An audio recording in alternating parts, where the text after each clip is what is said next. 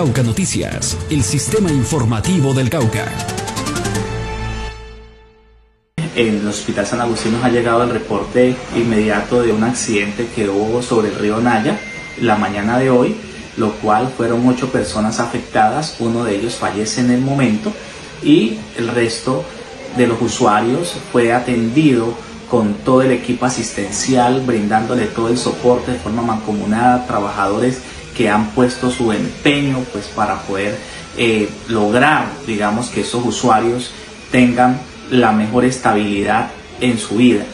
En este momento el Hospital San Agustín podemos decir que tres de ellos son remitidos a la zona urbana de Buenaventura con dos con contusiones a nivel craneal y uno con una contusión de cadera.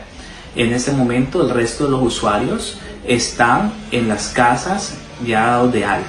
El Hospital San Agustín es importante decir que ha venido trabajando de forma articulada con las diferentes entidades que nos han prestado el soporte de ambulancia, incluyendo el Blanque de La Plata, para poder remitir a los usuarios desde la zona eh, urbana de Buenaventura a las diferentes entidades que corresponden.